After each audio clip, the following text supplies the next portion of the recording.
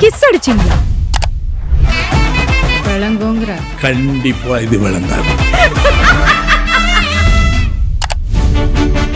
மேகம் இருக்காதா பெண்ணு பெண்ணு? தேன்மொழி பூங்கொடி வாடி போச்சே ஏன் செடி?